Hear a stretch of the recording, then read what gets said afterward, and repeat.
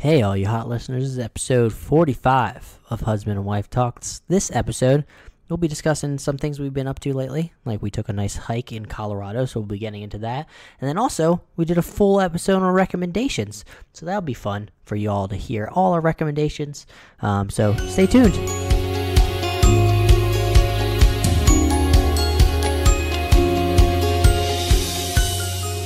Hello, Marta. Hi, Adam. How's it going? It's going great. That's good. You're over there on the couch now. I can actually see you. You're physically there, unlike I'm last always episode. on the couch, besides last week. last week you were in Baltimore visiting your parents. That's true. Got to be there for around their birthdays. That was very nice of you. I try to be a good daughter. Yeah. So yeah, this is episode 43 of Husband and Wife Talks. Happy you all are here. I guess we'll just get started rolling right into what we've really been up to lately.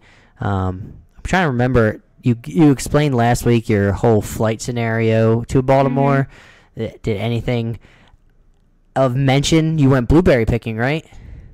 I did. We picked a lot of blueberries. What's my mom and considered what's considered a lot? Over 21 pounds. 21 pounds of blueberries. Yep. and you only brought back like a two Tupperware containers of it, and I'm sure it didn't even make a dent. Probably didn't. And I almost didn't even take it because I didn't have space. I took my tiny suitcase, but then I switched with my parents at their house. So I had space. Oh, I wish I took more, though. They're Mm. so good. And how many like bags was it? Four bags worth. Four Basically. bags. Yeah. So you just fill it up to the brim. Almost to the brim. Yeah. Yeah. Were you shocked that you got that many, or is that just a, another day picking I mean, we were, blueberries it was nice you? out, and we just were enjoying it. So we kind of just were picking, and we knew we were gonna get a lot because for each bag holds three to five pounds, Hmm. and we got four bags, which is twelve to twenty. I guess we went twenty-one, so I guess we stuffed more into the bags than they're technically supposed break. to hold. That would have been devastating. But was it? I'm assuming it wasn't, or the conditions were really well. Because I remember last time we were actually up there, we looked at that farm for picking, and only blueberries are fair. Well, So- my mom went once when it said online that it was fair, and she still got a lot. Yeah. So I, I think really it just know. depends on fair. Maybe for normal people is uh, you don't get that as much, but for you, blueberry picking experts, you and your mom, you can just pick as many. You can pick twenty pounds, for example, Yep. in a two-hour span. Was it two hours or was it less than that? Uh, closer to an hour and a half. An hour and a half. Wow. Yeah. Speed demons over there, blueberry picking. You bet. It's always impressive when I pick blueberries with you, how quick you are. Well, I have a lot of practice, so Mhm.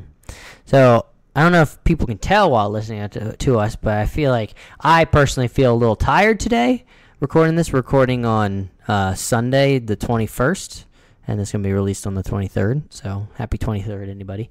Um, why are you give me that weird look? I'm just saying happy, have a happy, happy twenty happy Tuesday. Oh, ca- why people usually s- say like happy and then a number if it's like a birthday. They say oh happy twenty third. It could be somebody's birthday out there. You don't know. I don't know. That's There's definitely somebody's birthday is definitely on the 23rd. So I'm just being polite to all of them That's true. and celebrating their Tuesday. Anyway, But I feel physically drained today because uh, we'd like to, on Sundays to do quote unquote active recovery, or we've been trying to do this where we're not uh, legitimately going to the gym and working out, but we're still trying to be active. And today we took a hike. Well, it's more of a walk. took a hike. yeah, we hiked um, a trail called Waterton Canyon, right? Waterton Canyon Trail. Yep. And uh, yeah, it was six six point two miles total there and back. Uh, the normal one is it's like six and point some miles, the full hike and back. But there's like a midway point. You mean twelve? Because he said we did six. Six total. We did three miles there, Oh yeah, the three back. But I mean, full there. mile Yeah. is six there, six back, basically. Um, but we didn't do that. Uh, I'm kind of a little. Th- uh, I'm happy we didn't because uh, my legs were feeling it at the end because I always forget to stretch for some reason, even though we're still being semi-active. You should always stretch, folks. That's a good tip. Always stretch before any activities. Unless you're like going to the mailbox to pick up your mail. Mhm. but I don't really consider that a active activity. but if you're planning on walking six miles, I think I mean, that's a 10k. People train months to run a 10k. we, didn't do much running, but Well, we didn't run. We hiked, but Mhm. still, the distance. I mean, is significant. but it was very beautiful. It was a very beautiful walk. I enjoyed it. it was there's a river, or would you not really river, creek through it, uh, like through the mountains and stuff, and it was it was very pretty. We saw some sheep as we were walking on the highway. A little too close for comfort. It was a mommy and a little baby. All of a sudden, in the uh, they went down to the stream. They went from like the top of the hill and went down to drink water from the stream. Then all of a sudden, the baby comes sprinting out and then just sprints down the street towards us, kind of past us. And then the mom looks over and sees the kid and like, geez, I have to go after this thing, and starts slowly trotting past us. I was a little worried because you never know what animals are going to do. Um, so that was an interesting experience. Also, I just looked it up, and the body of water was called a river. Oh, was it was called the South Platte River. I feel like those terms for bodies of water is just thrown like loosely because it all could be different. Like the Delaware River that I'm used to is so much wider than this considered river, but I don't know what the categories are. I don't know what um, specifics make a certain body of water a certain thing. Because you can have a, a lake being a small lake that's in that state park that we went to, um, that people go to to pretend it's a beach, and then there's other lakes there's that are one gig- little patch of sand there. not a beach. It's it's not not a beach. Then there's lakes that are gigantic and you can't see the other side. So Like m- most normal lakes we think Yeah. of, not the tiny ones that are in Co- Colorado. Well, mostly the ones in Colorado are tiny. Hmm. Do you have any more comments on what we've been up to? I mean, Um, I have another a quick lessons learned from my trip home from Baltimore. okay. Very quick, like two minutes, two to four minutes. Okay. I don't know why you feel so self conscious about telling your stories. I realized my last story was very long, and I'm sure people love listening to you, Boo Bear. Just don't be a sh- don't be don't get in your head. Just talk. so on my way home, I got I flew Southwest, and I didn't I don't never pay for early bird because I don't want to. Like I'd rather save the money. Mm-hmm. personally. Um, so I always a either always check in 24 hours ahead myself, or I ask someone to do it. Like if I'm driving or I'm out somewhere and I can't. Um, so anyway, I got a pretty bad boarding group, like late B's, very late B. And I was like, okay, I typically like the aisle seat, but I'll really take anything. Like just glad to have this flight depart on time. Mm-hmm. I'd sit on the floor if someone gave me a seatbelt. Not really, but Yeah, definitely Anyway. not safe. Do not do that. so I was boarding and I'm like, thank goodness we're taking off on time. I'm getting on the plane. The lady goes to scan my boarding pass. I always do it on my phone. And she goes to scan it, and instead of like the ding, it's the ah. I'm like, are you kidding me? So then she's like, step off to the side. I'm like, until what? The other 50 passengers or whatever, 30, however many there were, board, and then I board. And she's like, uh, go to the ticket counter. They'll get, they'll help you out. I was like, I've never had an issue with my. I've never mo- seen that issue before. I don't have ever seen anybody else deal with that. I don't know, but I don't know what happened. Um, I'd be kind of curious if there's a reason that people like if the brightness on my. I mean, my phone was on full Hmm. full brightness and all of that for them to scan it. But anyway, so then part of me was really mad because I already had a really bad boarding, and then I, I mean, I had to go to a ticket counter, and who knows if there's already people being helped there. So I went over there and I was like, "Hi, I was trying to scan my boarding pass to board, um, but unfortunately, it got it didn't work. So can you print reprint my boarding pass?" And then gave her my name and all of that. And she's like, "Here you go." And then I pretty much like booked it. I mean, it wasn't far. Then I ran back. It was kind of awkward because other people were still boarding, and I couldn't just stand around because the lady wouldn't have noticed me. So I literally just walk up, walked up to the lady in front of the other people boarding. Nice. That's what you gotta do. I mean, what was I supposed to do if I just wait around and I'm like, "Hi, hey, No, uh, I'm serious. That's what you have to do. have- yeah, you have to. No one else is gonna hold your hand and tell you what to do. So if you don't do it yourself, you're literally going to be the last person on the Especially plane. on the East Coast. So I finally boarded. The paper boarding pass obviously worked. And then I still got an aisle seat. Not like the last row in the back either. It was in the middle. nice. Was it, It an was- exit row? It was an exit row. It was where the flight attendant was standing though. So I think a lot of people just keep walking, but I was like, "Girl, is that seat taken?" And she said, "I didn't say girl." I said, "Excuse me, is that seat taken?" And she said, "No." And then I was on my way. Hey, yo, lady, get out of here. So less. I don't know if it's a lesson. Really, I just learned that I'll probably have a paper copy of my boarding pass, just But- in case. Because you can always get it at the front. Like Southwest has all those kiosks. That's true. Just as a um, precautionary You measure. don't have But I, to wait in that long line where people check their bags and all of that. You can just. for some reason, I always thought the whole purpose of security when you put your phone down is to check the validity of your boarding pass. I always thought that was a reason. That was the reason you put your phone onto that thing that scans it Yeah. is to make sure that it works, kind of, and make sure it's a valid boarding pass. So I don't know. I, I guess it that's not exactly what it does. I don't know what the purpose of that is. I just know that it's never happened to me before, and it did. And now I'm kind of rethinking the whole. The thing is, I always use, unless I travel internationally, because I don't know if I land Yeah. in London, if my phone's going to work. I mean, you don't need Wi Fi to get your boarding pass, but, you know, I just like to have Mm. the paper version. But domestically, I never, especially I- in the last few years. I have a feeling this is just a fluke thing that happens and uh, only happens to a few people, and then those few people are telling stories why they never use their phone specifically because of this one scenario. I, I'll still use it. I'll just if one, if I remember, I'll uh, go and print a boarding pass. Well, and if I have time, you know, throw Mhm. back to last episode or call back to last episode if I have four hours at the airport. Doesn't If you, hurt. if you know, you know. yeah. If you don't know, go listen to episode forty-two, hmm especially the beginning. Great story. I enjoy listening to it. I thought it was.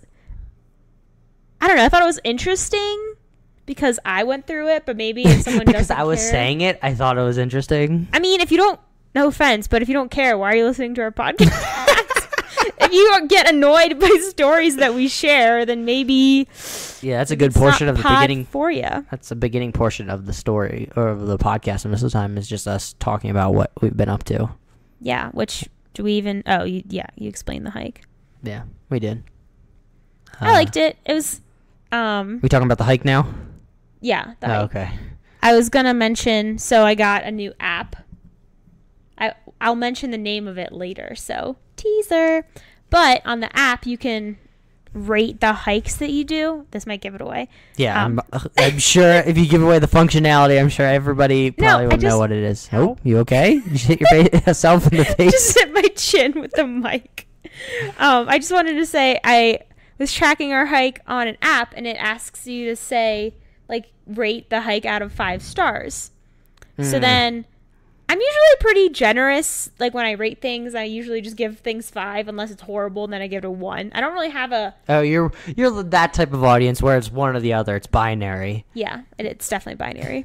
So then I'm going to rate the hike, right? And I click the different stars and it says what that then what the star indicates, I guess, in terms of your impression of the hike. Hmm. So one, well, do you remember what one star was? Yeah, It was oh yeah. something like that. Two was I guess I should have looked it up because I am forgetting.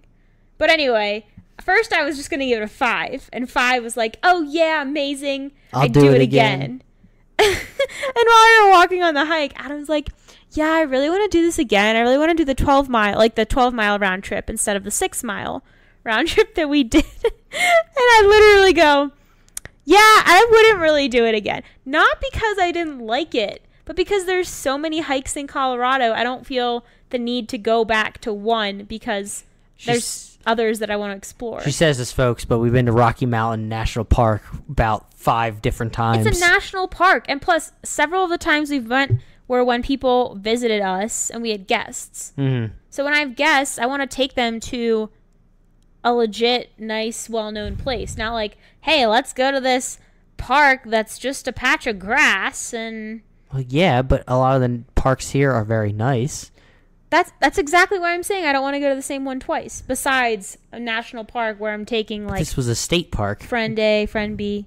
Yeah, but there's other state parks. anyway, my point was that I was gonna give the hike a five. Then I decided I'm not gonna do it again. So I Bumped it just down wouldn't to be a valid. three.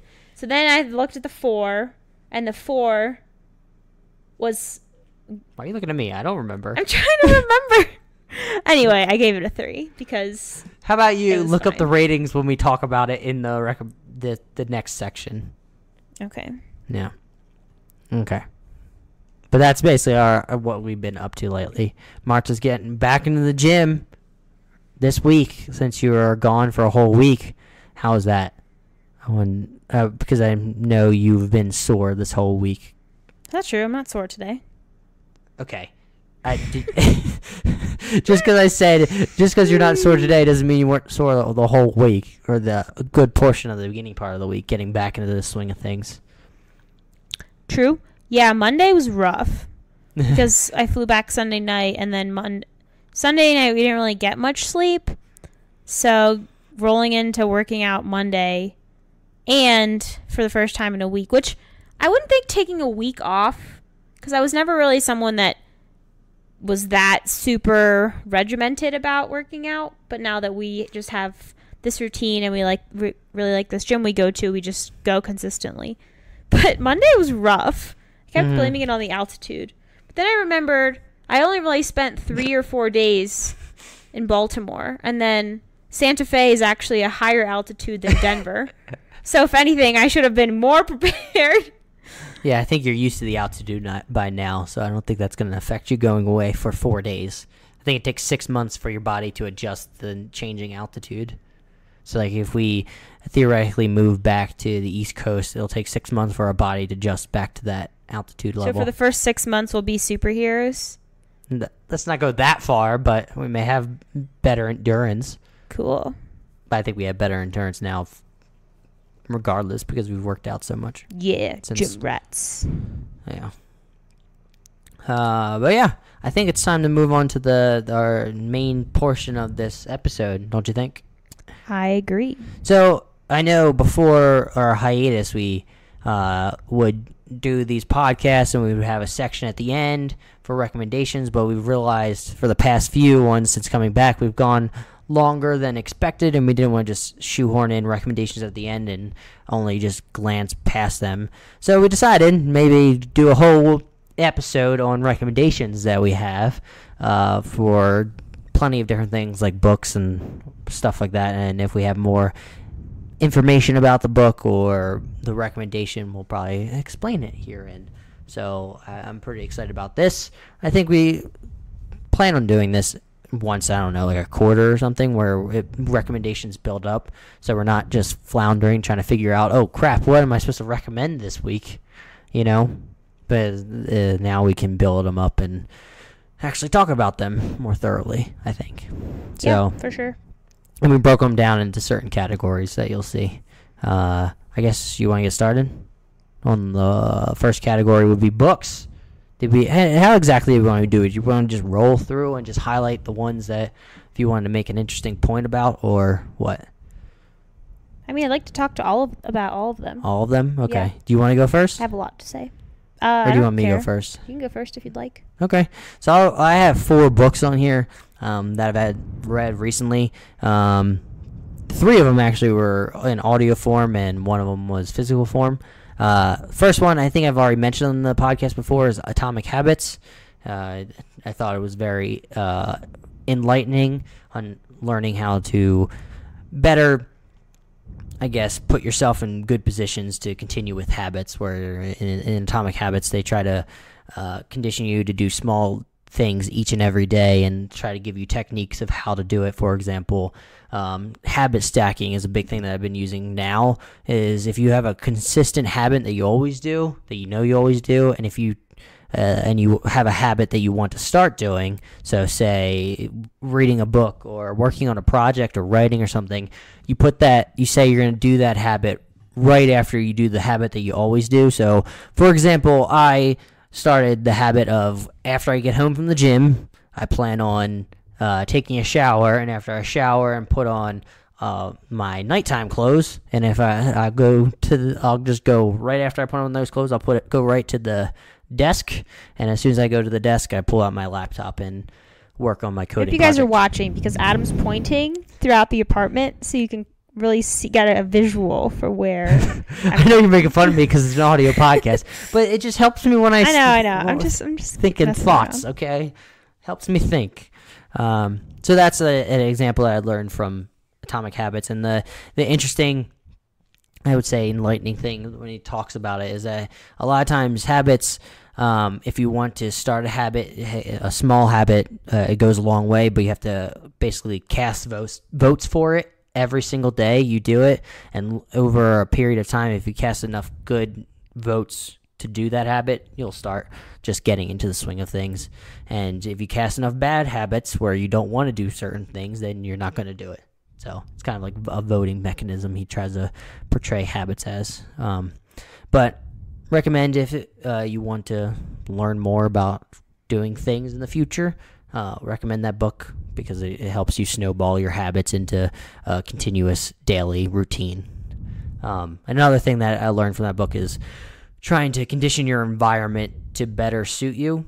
So if you don't want to, for example, if you wanted to start eating healthy, when you you want to build the environment in your apartment of healthy food, you don't want to have junk food in the cabinet. You'd rather have all veggies and meats and um, good food in just your kitchen, so you're not tempted by the idea of um, snacking on something poor. So it's just making the environment conducive to you, or whether that be going to, say, a coffee shop if you know you work better there and you'll actually get your work done instead of staying in your apartment or your house because there's so many other things going on.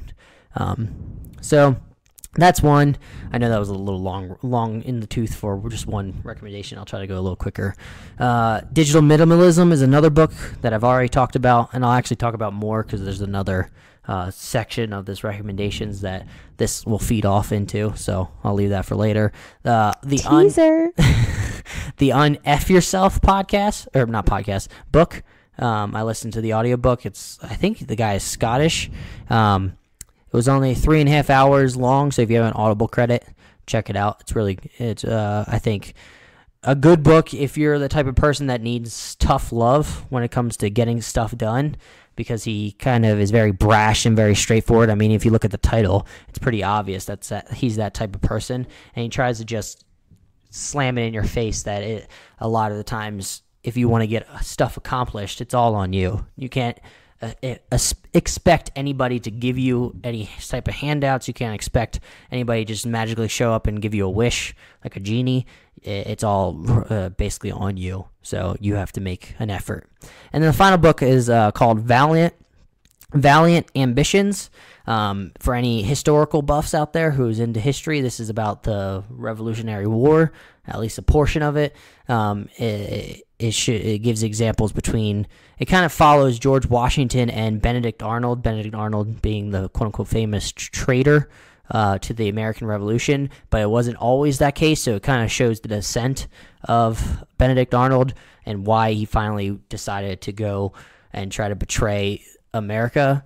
And then it also shows the kind of the progression of George Washington because George Washington is like a famous, obviously a founding father, famous figure, kind of like a what's a like a heavenly figure in history, and we always portray him as that.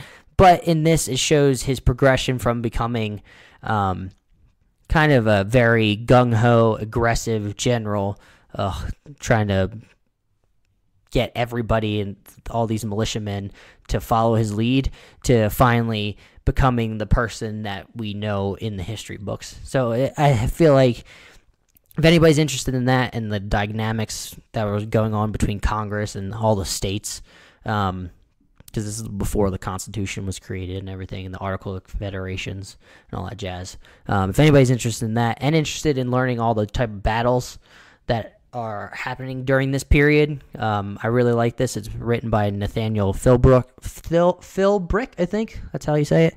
Um, and he has in a lot of the sections he has maps of all the battles that happened, and he does a good job of explaining it.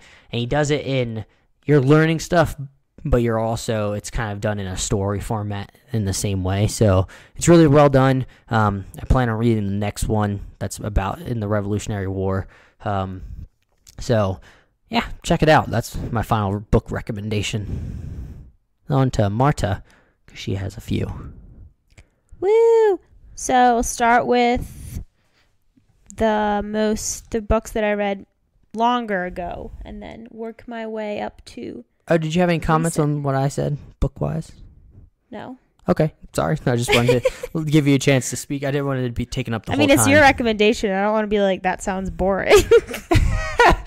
Was- Was any of them sounding boring? I'm assuming it's the last one. You not Yeah. into history as much as I, I was am. dozing off a little bit, but I'm whoa, back. whoa! Just because sometimes I'm not as into history. You were falling asleep as I was I'm talking. Joking. I, was, I like to, you know, have fun, joke around, keep the mood light. Dozing off. My goodness. Okay, maybe, Continue. maybe that was too far. I don't know. Not sure. Whatever. I'm offended. Sorry. Baby, I'm sorry. Okay. I'm sorry. Marta's singing now. Let's get back to the I recommendations. wish I didn't do that. Anyway, so my not first. cutting it, just FYI. Anyway, so my first recommendation is really books just by this author, um, and it's Malcolm Gladwell. So I've read, I think, four of his books so far. Yeah, I've read four of his books. Uh, Blink, Outliers, David and Goliath, and The Tipping Point. Those are the names of the four books. And I really like the way they're written. They're all, I would put them in the psychology category, I guess. Yeah, that's a good. Um, Because they're not really self help, but they're sort of helpful because he explains the the idea behind his books. You know. Yeah. Um, but so I've read all four of them. I really like his style of writing because, like Adam said, it's not self help, but it is psychological. And he, in all four of these books, I think he has one or two, or maybe several more that I haven't read yet.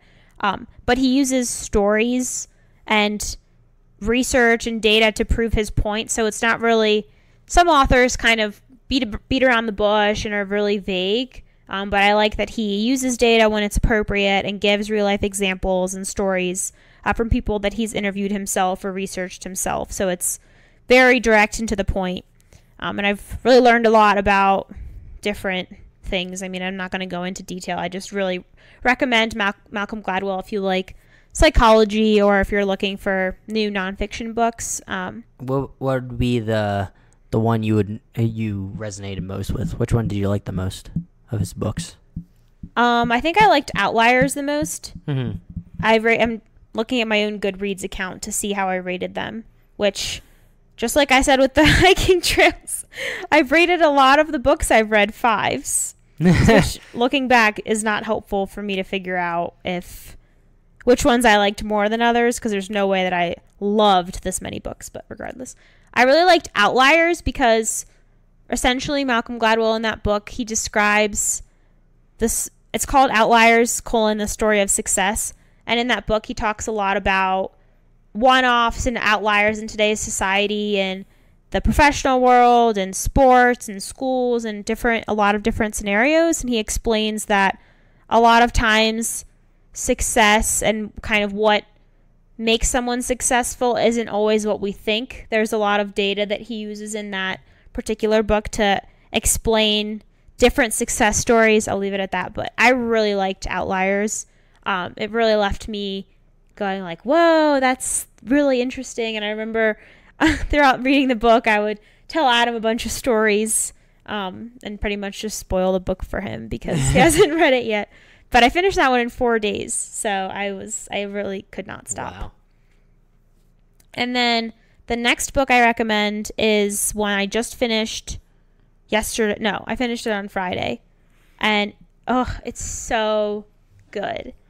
I It's got called- the, like I got the brief synopsis of this book. It was like a movie for me. I got the just the little spark notes of it. I mean, I think in the beginning when I was explaining it to you, I did a better job, and then I just started going off in a million different directions because I was just really excited about it. um, but hopefully, you got a good uh, summary without having to read the book yourself. Um, but anyway, so it's called The Great Alone by Kristin Hannah, and essentially it's about a family that moves to Alaska in 1974 and the main characters are um, a family. So it's a dad who was a former POW in the Vietnam War and then a mom and they have one daughter who's 13 uh, but I really like the book because I really didn't know how it would end at all. Like Mhm. I for books and movies too for any sort of entertainment I like sometimes rom-coms because they're easy to follow and I know how it'll end but also it gets kind of old just knowing oh these two are gonna fall in love and whatever. Um, but this book I truly did not know how it end. It was really interesting because it was so it started in the early 70s in 1974 and then there's two other time periods that it kind of it kind of jumps i think four or five years from the first to the second section and likewise from the second to third so it was just really good really well written um, a lot of different plot points it's definitely not a light read but it's not like scary there are sad moments there's happy moments but if you're looking for good fiction i really recommend that one It was sus- suspenseful. Is that what you would call it? there were definitely some suspenseful moments. Yeah, I think when I was describing it to you, I told you that at certain moments during certain plot points that happened, I was like, "Oh my gosh, I didn't see that coming." like it just shocked me. And usually when I read, I don't really feel that strong of emotions, but it, I feel like the way it was written and the whole plot, it just made it feel kind of wish I looked over more often while you're reading. While I was reading along with you, well, not the same book, but we're reading in the same area. Mm-hmm. Kind of wish I looked over to see if there was any facial reactions from you, because I feel like I, at a certain point, I got one like shock face I saw from you at one at one point, but you never made any sound that would visual uh, that would cue me in to look up. Yeah, I don't really make a lot of noises when I read, but I'll make I just make a lot of faces in general. So if you know me, you know I like faces. Well, making faces. hmm But my third book that I recommend well, I guess the first two were um not books. But anyway, Yeah. my second actual book that I recommend. I'm still reading, but I'm obsessed with it. And it's called The Happiness of Pursuit by Chris Goulibo. Goublier. No. Goulier. I don't know if it's um French because the B E A U is a very French looking Yeah. thing to me. But anyway, ask- so- I can't help with this. I'm sorry.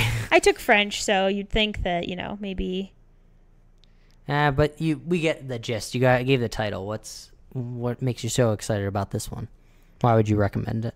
So first of all, I was looking. I'll give a brief background. So when I was looking for more books to read, I checked out my favorite, one of my favorite travel sites that I mention like literally every podcast. It's called Earth Trekkers. Yeah, we don't need to give them a recommendation. They're recommended every single week. It seems. Um, but so it's a travel blog, and I was looking for book recommendations, and I was interested to hear someone who tr- uh, travels frequently their perspective on their favorite books because I figured they might be related to travel. Um, and I've never really read that many travel focused books, so I thought it would be cool. So this book was on their list, and um, the woman who runs the blog, she her first sentence to describe the book was, "If you have a big dream, you should read this book." And I was like, "Yes, who doesn't have? I mean, hopefully everyone has some sort of yes, dream. girl. But essentially, and I'll read just quote this from the Earth Trekker site because it's easier. So the author sets out on a quest to visit every country in the world by the age of 35. He succeeded, and while he was on the road, he learned that there are a lot of other people out there on. Oh, there's a typo here.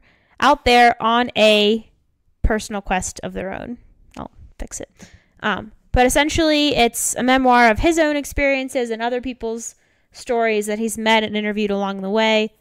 And on this site, she describes it as dangerously inspiring, especially if you have a crazy idea in your head that just won't go away. And I couldn't describe it better.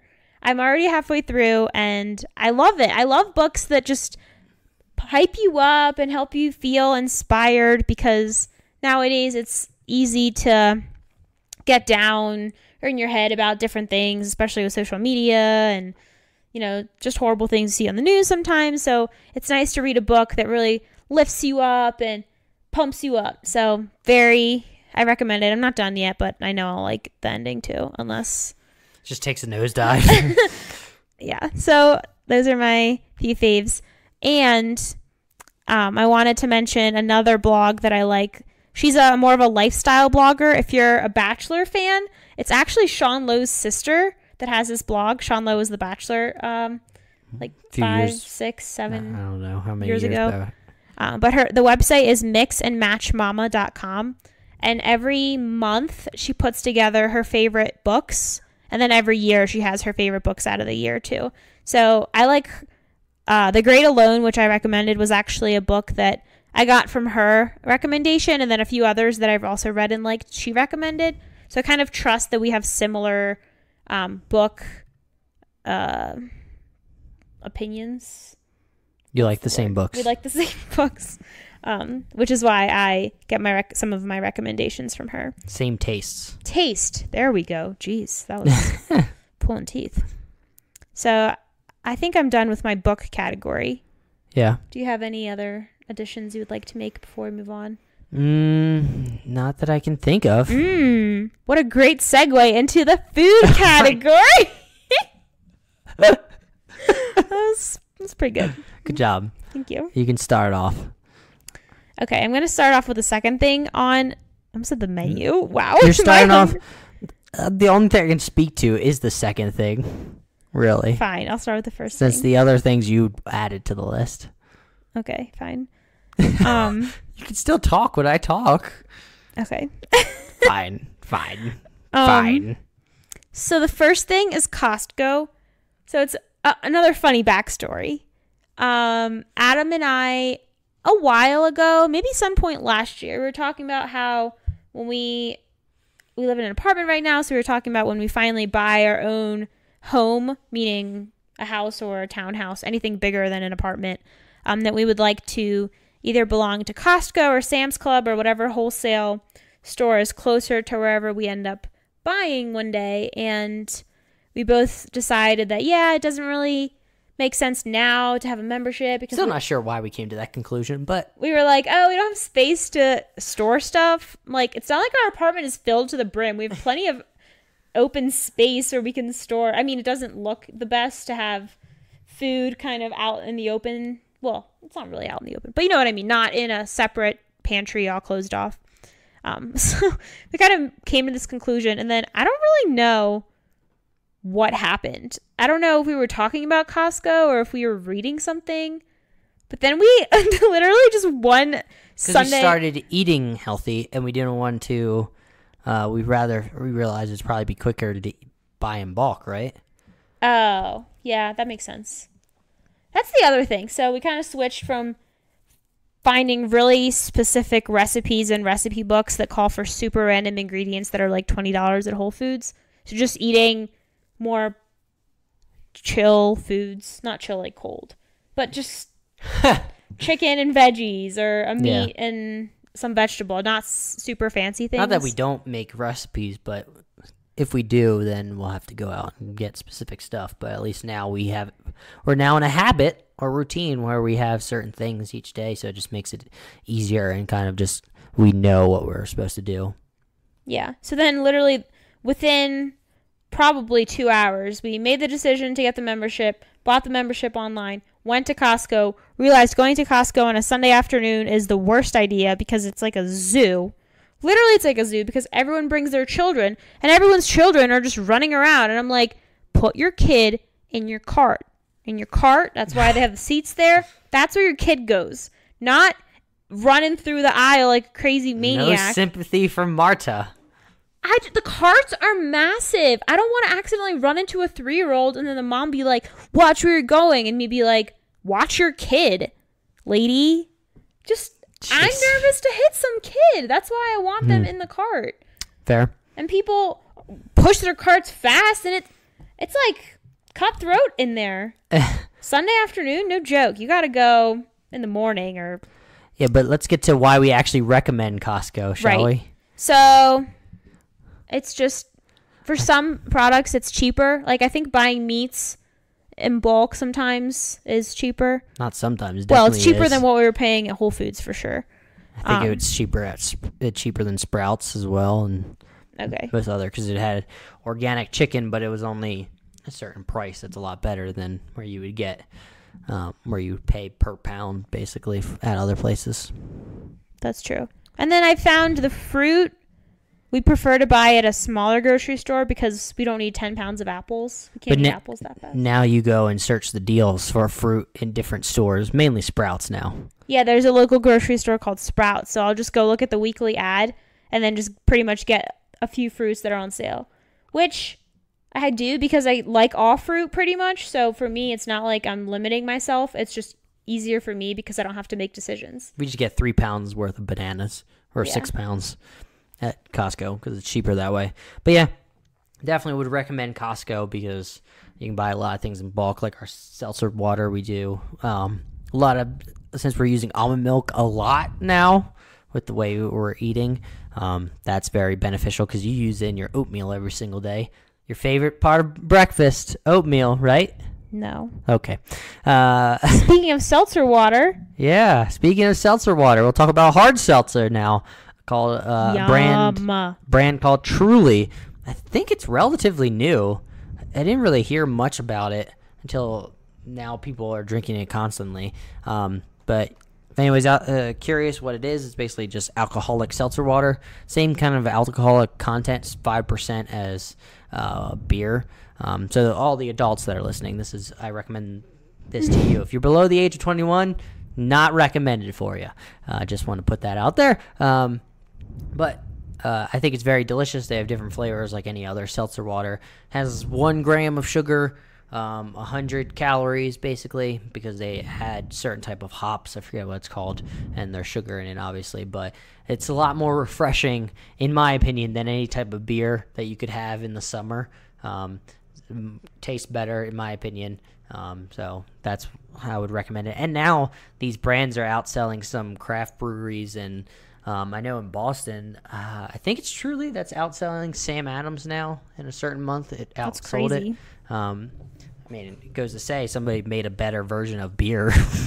it's not as doesn't fill doesn't fill you up at all because it's mostly water, and uh, it tastes better in my opinion. I have the different flavors. So if you want different, I mean, they're- they're mostly fruity because it's Mm-hmm. you're not really gonna infuse water with like cucumber. Well, cucumber, cucumber infused water is good. I'm trying to think of a bad example. Speak to the mic, please. It's Like barely catching. it. Eggplant. You wouldn't infuse water with eggplant. You know what I'm saying? like they're all refreshing fruits. Of course. Pineapple. They're going to plum- choose flavors. I don't know what my want. point was. saying that. Eggplant water. Who's thinking of that? I have no idea. Um, Sweet potato water. I don't even know what my point was at all. Broccoli water. I'm trying to think of the worst possible water flavors you could have. But this is genius because personally, when I go out, like to hang out with friends or at family, th- well, at family things, I feel like it's always the option is wine or nothing, and I'm like, yeah, I don't really like red wine. I like the pink stuff with a lot of bubbles that tastes really sweet, kind of like juice. Do you have that? It has a lot of sugar in it. Which my aunt and uncle that um, we hung out with yesterday, they bought that wine that I specifically like. I'm like, thank you so much. I could drink the whole bottle, but this is a family gathering, and I want to have a little bit of decency. so I'm not gonna do that. Um, and I don't normally do that, so I don't want to like come Mhm. off a certain way. You're not getting swasted all the time. No, Okay. never. Yeah, that's basically never. Um, but yeah, I just want to add on. Truly is great. And there's another brand called White Claw that we haven't tried yet. We saw at the store today, but we still have plenty of cans here of Truly. Yeah. I think that there's we've only drank three so far, but it's good. We just don't drink it during the week. Although sometimes when I open the fridge during the day to get lunch, I see it and I'm like, what if I accidentally had that instead of water? I mean, it's what, 5% alcohol? Yeah, you'll be fine, but It would just be a really awkward mistake. mhm, if you drank too many of them, then yeah, you would eventually feel it. Uh, I guess we can roll through the quick, the next one rather quickly. Remember, you added this a while back. Nothing else to say besides chocolate covered macadamia nuts. They're so good. Mm-hmm. So Because your good. your parents brought them back from Hawaii, right? They did. When we visited yeah. them. And they were delicious. Mm-hmm. Ooh, Not, not the best for you, but they were still very good. The uh, Hawaiian Host is the company that makes the chocolate covered macadamia nuts and the Mauna Loa Loa. Make way. You can get both. way. Wait, they have these at Target? Oh my gosh. Okay, after we're recording this pod, I'm going to Target to get these. Okay, Um, I'll be here. yeah, he'll be here uh, editing, which obviously, if you're listening, he already finished editing. oh That's no, how it they don't have it in stock. Except for I saw that Dang. Podbean now is doing a. They're starting a beta period where you can live stream your audio for people to listen to. Well, live, and they can you can call in and stuff like that. Wow, so that's maybe maybe when we become big, we'll do a live stream audio podcast. But until then, I think actually, speaking of, uh, not really speaking of live stream at all, not relevant, not relevant to what you said. Just trying to have a segue. um, but a few weeks we might have a guest on the podcast, maybe. maybe Yeah, just If teasing. If it doesn't happen, then wants to. sorry we teased you. yeah. But uh, yeah, Okay, I guess we'll move on to the next section. Uh, sh- we just called it shopping, kind Yeah. of purchasing stuff. Uh, it's kind of ironic because of an idea that we're going to be mentioning, but it was gonna be funny if I if we didn't mention it and we just rolled right in. But oh, sorry, I didn't. Ah. They don't know it. it's okay. Yeah, just give the first one. First one, Merrell hiking shoes. They're great. I don't know how much more you can say. We didn't didn't have hiking shoes. We decided to purchase some. Um, Merrell brand is highly recommended, um, and we got them from Amazon. They were, I think, not the normal price. They were a little bit off, or Amazon was discounted. cheaper than the Yeah. Merrell store itself. Um, yeah. So, I like them. They're they're very good, comfy. I don't get nearly as many blisters as I used to with my running shoes, but um, that's about it. I guess the next two you can talk to. I just want to talk about hiking shoes. I've been, so I hiked uh, the Machu Picchu trek three years ago, and I did it in sneakers. And now looking back, I feel so silly. Why Hmm. didn't I buy hiking shoes? That was a 40, almost 50 mile trek in a few Ooh. days. Were your feet hurting real bad? Did you get a lot of blisters? I don't think I got blisters, but my feet hurt 'cause it was a Mhm. lot of walking. Yeah. Looking back, I don't know what I was thinking. I just wore my Under Armour sneakers, and I've I don't know. I've all the hikes I've done. That's the most absurd that I didn't have sneakers or hiking shoes for. Yeah. So I'm very thankful for the, that purchase that we made. Um, next two, I'll explain the recommendation. One is, I think, mostly for women. Um, I would guarantee that most men, if not all men, would not be interested in this. But the store Loft, which is, Not judging anybody. I'm not, yeah, I'm just saying that probably only women are interested. Um, but the store Loft, which is a women's, like, kind of casual clothing store, I think it's a spin off of Ann Taylor. If you've heard of Ann Taylor, Loft is associated with Ann Taylor, I believe. Um, so the Loft outlet online and in store always has sales. Um, especially, I think around different holidays, and even right now, I just checked the site and they're having some sort of sale. But I love the Loft dresses because they're so. They look nice, but they're also you could dress them up if you wanted to. So they're nice enough. I mean, certain styles are nice enough to wear to work, but also they're not so formal that I can't wear them to hang out with friends or just Mm-hmm. be casual, um, but still have like a cute look. So if you're looking for dresses that aren't breaking the bank and you don't really care about any specific brand or things like that, I would check out the Loft, either the Loft website or the Loft outlet. Um, you can get dresses for like well under 50 bucks. I've gotten even some for 20 something, which I always say is a really good deal because a dress is a top and a bottom. So where else are you going to find a shirt and shorts slash pants for 20? I mean, I'm sure some places you could. But the point is, I think it's a good deal, so I buy Mhm. a lot from there. well, not a lot. I buy. Eh. Okay. Anyway. um, my shop. Go, right, go into your shopping list each time. No, I just wanted to say that every time I go, I spend a lot, but I don't go very often. Yeah. So I can't say, you know, I You shop- mainly just get dresses there, unless Yeah. they have a sale on shorts. Yeah. Oh yeah, I bought some shorts. Um, next recommendation is for people that do online shopping. So I don't really do online shopping a lot besides Amazon. Um, but I learned about this site. It's called, it used to be called Ebates, but now it's called Rakuten, R A K U T N. I have no idea why they changed I don't know. Ebates makes sense because it's online. It's like rebates, but But Ebates because it's on the internet. Electronic. Um, but essentially, what e- legacy Ebates was, or Rakuten is, if you shop online, for example, um, Vineyard Vines or Shutterfly for the pictures, picture making uh, website. So what you do is you go to the site and then you click on the Shutterfly or Vineyard Vines or whatever. They have tons of different um, stores that are compatible with it, and they all just give you cash back.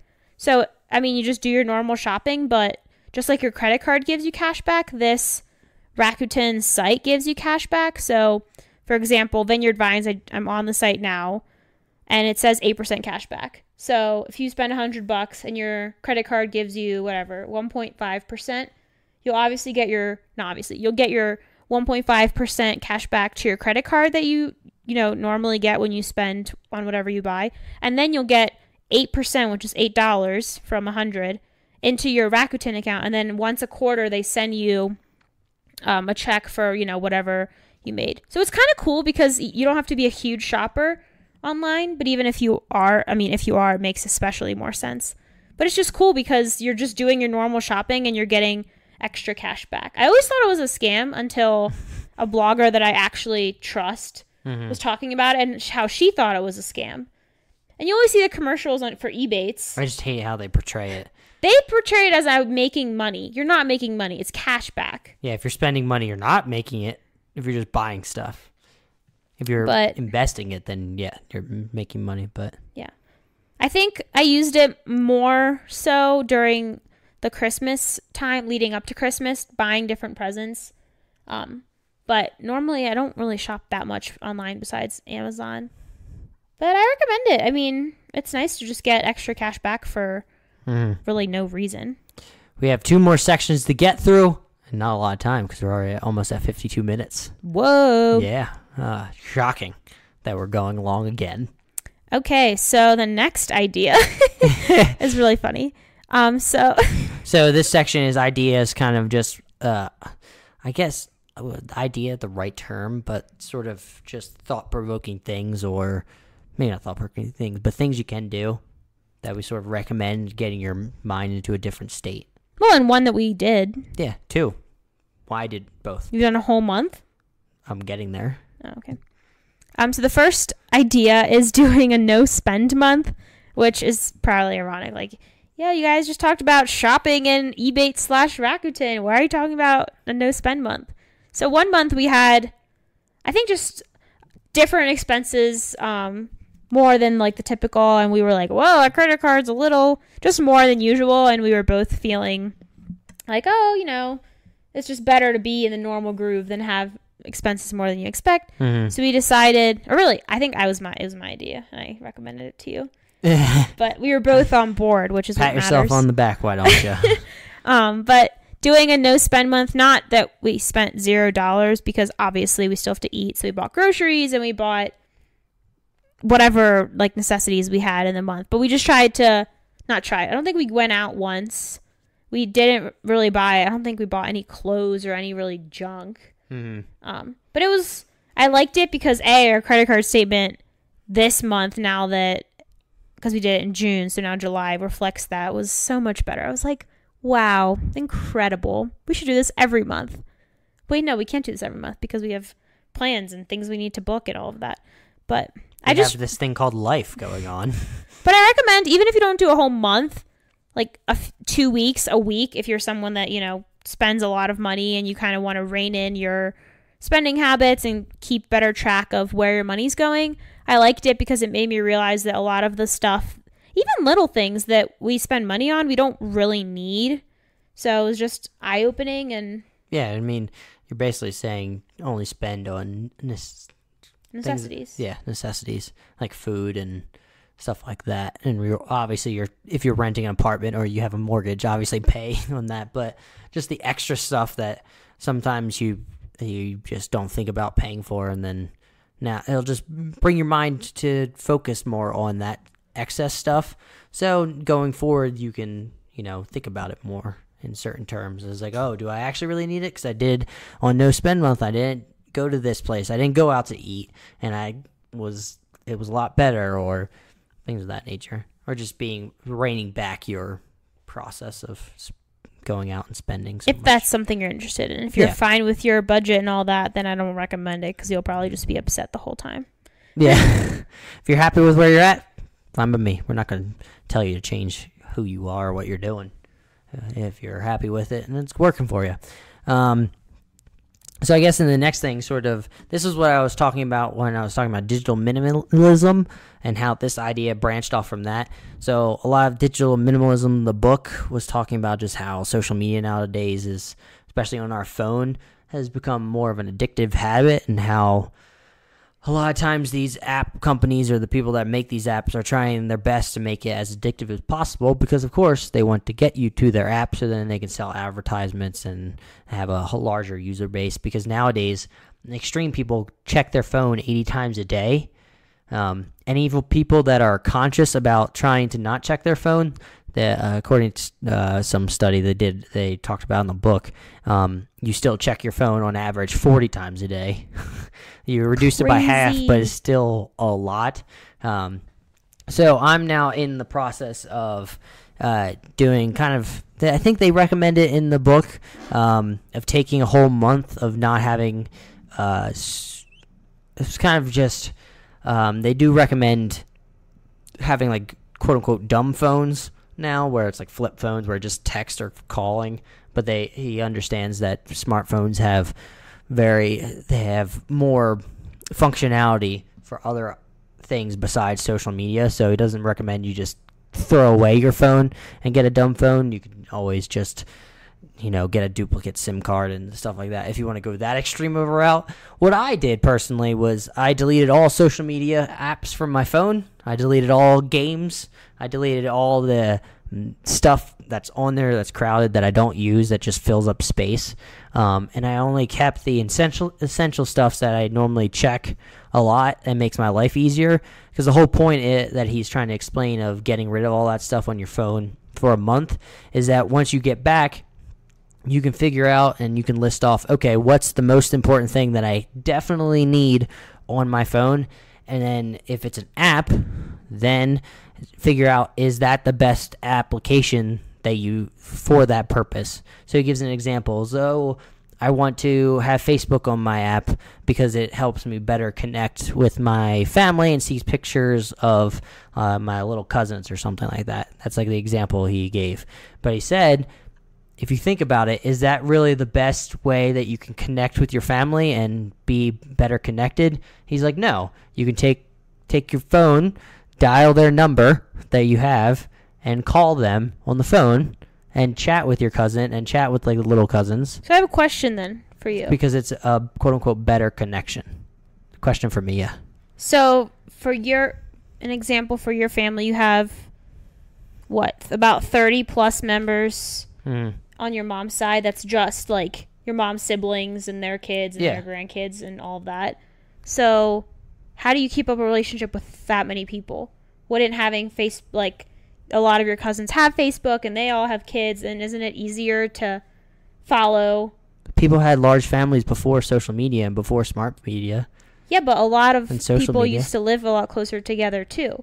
Yeah, and and they and people that moved away, they would call more often. So do you plan on calling more often? Maybe. I'm just curious. I don't know. I don't feel that's the thing. I don't feel the urge to try to. I don't have the urge to look at pictures on Facebook that often. I just think it's fun to look pictures of the kids. And I also, if you want to look at social media, it doesn't just because you don't have it on your phone doesn't mean you can't use it. You could set a time that you have during the week to actually go and check it out. The whole Well- purpose of this book if you let me explain, the whole purpose of the book is to not have it on your phone so you're not checking it 80 times a day when you're just passively looking at your phone and scrolling through to pass time because you have you have nothing to do so you just want to look at your phone because you're so addicted to it. So you're like, "Oh, let me look at Instagram." Look through that. Oh, uh, let's go to the next one because I'm waiting at a commercial for TV, so I want to look at this. Or I'm waiting for something to happen at work and I'm bored, so let me just check this on my phone. And it's just casual scrolling that doesn't amount to anything, and it makes you. And the book shows statistics, ugh, statistics that you become less happy the more you use social media. Uh, and the fact that it's on your phone makes it even more likely that you'll be less, you'll be more or you'll be unhappier because you constantly check and you're just in an anxious state to see the next thing or learn about the next thing. So that's what I'm trying to do, just get rid of social media on my phone so I'm not just mindlessly checking it when I don't need to. That's all I was trying to explain, and I was just giving the example of what the guy was talking about. I don't I don't know how exactly I'll do it in my personal situation, but I'm just gonna try my best. Makes sense. Yeah. We move on. Yeah. Last category: Yeah. apps that we're liking or that we're kind of liking slash using lately. That are more useful than anything. More useful than just what you were just talking about. Not mindless scrolling, but actually having some sort of functionality. I'll talk about the first one, which is one I was alluding to earlier, um, talking about the hike and tracking the hike. But All Trails, I knew All Trails was a site, but I didn't really realize they had an app. But essentially, you can, wherever you are, you can search for hikes that are nearby in the area, and you can filter by easy, medium, hard, or it tells you as soon as you search what level it is, and then when you click on the different hikes, there's different. Um, there's a description of the hike. So if you're looking for a two mile or one mile family friendly, relatively flat hike, then you could easily find out what is out there that you're looking for because it says, hey, this is a six mile um, strenuous hike, whatever. And then they also describe if it's a loop hike or if you're hiking to one point and then hiking back from this along the same trail that you hiked um, to get to the halfway mark. Um, so I like it. We used it today to um, you can record your hike too and kind of follow the map, which is cool. So I'm excited to use it on future hikes too. Um, and I'll talk about the third one too, and you can take the other two if you'd like. Sure, I think Um, I've explained this app before. Oh, other- that's true. We don't have to go into too much. detail. Libby, you use it for library books. You can get Kindle books, and um, sometimes there's a lot of holds. Like your hold can be on for ten weeks, but eh, they have a lot of. You can put a different, a lot of different library cards if you go to different libraries, and you can put it on there and try to search Kindle books that are available for different library areas. So or audiobooks. So that's our another recommendation. And then another one is an app called Think Dirty. Um, it's a funny title, but essentially, Think Dirty is a free app. Yeah, you put a winky face in, in the just to Google be Doc. funny. Um, but essentially, it's an app where the whole point is to expose how many different types of chemicals and just really nasty stuff is in uh, a lot of household products that we use. So, any types of cleaners, toilet cleaner, shower cleaner, Windex, um, shampoos, conditioners, lotions, really anything that you either put on your skin, in your skin, or you spray around your house, kind of. Mhm. Um, and so with that app, you can either scan the barcode of a product. There has been a few products that I scan and they're it's just not in their database, um, but mostly I've had success. Or you can just type the name in and it pops up with the name of the product and it gives the product a rating. So I believe the lower the rating, the better. I think 10 is the worst. And it also shows you colors. So 10 is a red color, and then I think 8 through 10 is red, 5, 6, and 7. So is it counting like the bad products in the the substance? Is that what the number corresponds to, or is it just a rating? So that's a good question.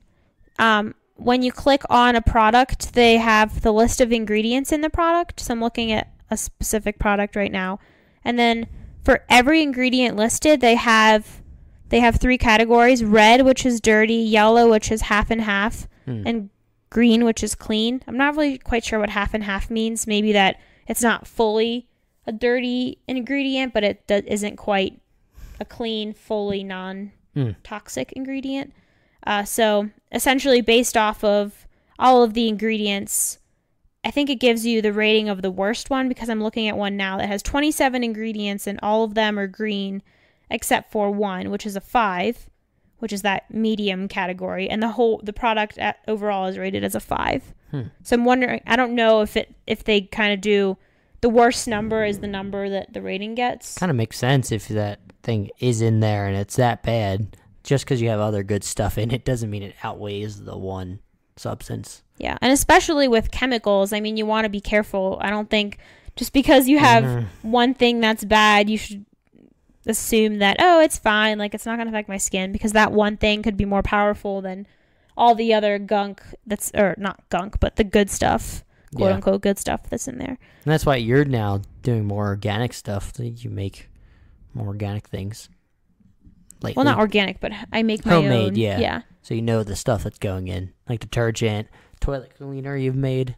Yeah, toilet cleaner is actually easy. Um, I think there's a, uh, a recipe or a website online where this person recommends easy DIY cleaners for different areas of your house. And I think for toilet cleaner, she uses a little bit. I probably shouldn't say this. I'm not positive. I think it's a little bit of white vinegar and a little bit of baking soda. Hmm. But you don't mix sense. it beforehand. You mix it.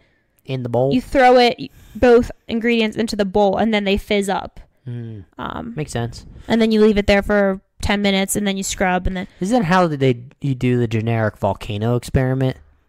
You put like baking soda with vinegar and then it shoots out like a volcano. I could be wrong. That sounds probably when you do it in the bathroom in the toilet bowl it fizzes up a little bit but i really like the app because it's really eye-opening to see hey this product that i've been using for forever is actually an 8 and personally i don't want i mean if i can avoid certain chemicals why would i not i'm not Yeah. saying i'm going to go buy a alternative that's a hundred bucks but there's plenty of companies out there that are really mindful about the ingredients and they do list them out and things like that and something i learned is that the packaging is packaging in general is very deceptive but almost especially for different products that are related to your skin and your face because they'll put in something that says organic, but in the context of skincare, I don't really know what that means. And there was actually one thing that I bought. I don't know if it was a lotion. I don't know what it was, but I bought it because I thought it looked. Oh, hand soap. It was a Mrs. Meyer's brand. I bought I, it. I was going to ask you, is there something that was surprising with something that you thought was good for you, so to speak, and then it turned out that, oh, that's actually not that great. Yeah, so the Mrs. Meyer's brand, which, if you've heard of it, it's I think they try to advertise themselves as like a clean, whatever brand. Mhm. But they have. I'm looking right now at the app, and they have three or four, a few hand soaps and a countertop spray. They're both eights. So I'm like, why would I pay an upcharge for Mrs. Meyer's when I can get something that's also an eight in terms of chemicals, and that's just like a cheaper, more generic brand. Yeah. Um, but then some Miss- Mrs. Meyer's products are threes and four. They're lower on the scale, so I think it's very dependent on sometimes different um, Sense? scents Yeah. because scents are so powerful, and who knows what they really use. So if you're interested in being more kind of what's the word Proactive? natural minded Oh, yeah. and kind of knowing what's in your product, just check out the app. It's free. I mean, and you you can learn a lot really. Good. Last one. Last one. This kind of uh, you put this on here. I've been using this app for a while, but it's a podcasting app. Hmm, funny enough. So you may be listening onto it right now, so you may not need to know this recommendation. Um, but the podcast app is Overcast. I I've always used well, not always, but I used it for a long time. Ever since the Apple Podcasts application changed, uh, it used to be more simplistic the Apple Podcast, but now the way it's set up, it's very weird how they have it set up, and Not it does intuitive. and it's hard to find different podcasting pages, like their homepage where it's a list of all of them. I mean, I know you showed me where you have to go down to like, you gotta click on the episode, scroll all the way down, and click on a few more things. So it's a little more confusing. But Overcast, more simplistic, kind of looks like what uh, Apple Podcast used to look like, but Before little- they went down. more sleek, I think. Um, has different features like smart speed, where it tries to cut out different audio spaces in um, just in the feed. So if there's a silence like this, most likely it'll pick up where I just started right there. So um, something like that. Uh, and then um, yeah, it just has cool features. You can make playlists, um, and you can also get all your podcasts online too. So they have a their website's not near the website kind of looks like a mock of what you would see on your phone. It's kind of one of those type of websites but you still can subscribe there and listen to podcasts that you've subscribed to on your phone if you connect your account and stuff. So yeah i think you started using it too right? Hmm Yeah, I like it more than Apple Podcasts. I guess uh, that's it for our recommendation episode or the episode in general. Do you have anything more you wanted to say? Any more recommendations off the top of your head? Nope, Nothing? I'll save them for the next quarter. I looked up real quick during the podcast. For some reason, the way like the way you're sitting and like the outfit, it kind of looks like you're a flight attendant. I don't know why. It was a brief. You're wearing a t-shirt, I know, but it was just the way like the blue that's going on. I don't know. I just yeah yeah. I, I I know you're confused, but that's so, what was the what point of? Was there something else, somewhere else you were going with that? No, I just wanted to point out that I thought uh, real quick that it, That I look like a flight attendant. Yeah. Okay. Super random. what's the problem? That only took like two seconds. It wasn't No, a you long said- story. I looked up, so I thought you were going to talk about something you looked up on the internet. oh no, I looked up like physically looked up. Oh, okay. Sounds good. Yeah, sorry for the confusion, folks, but this has been episode 43. Thank you all for being here. Remember, share us with your friends and family. We appreciate it so much. I think we're going to put a lot of dis- links in the description for different recommendations that we had. I would think. Yeah. Um, it wouldn't hurt. I may just copy and paste all the recommendation bullet points directly into the podcast episode. So if you're interested in checking it out, check it out there. Um, you can email us hawtpod at gmail.com. Follow on Instagram and Facebook and Twitter and all that jazz. It'll be in the description. Oh, Marta has a blog. A new blog post coming out when they hear this, or is it going to be a little after? There'll be one this week. There'll be one this up the week of this podcast, Yeah, like this, releasing? You know. this Tuesday week. Yes. Okay, sounds good. I'll keep you to it. So will the hot listeners. Sounds good. Okay, I guess it's time to say bye. Bye. Bye, y'all.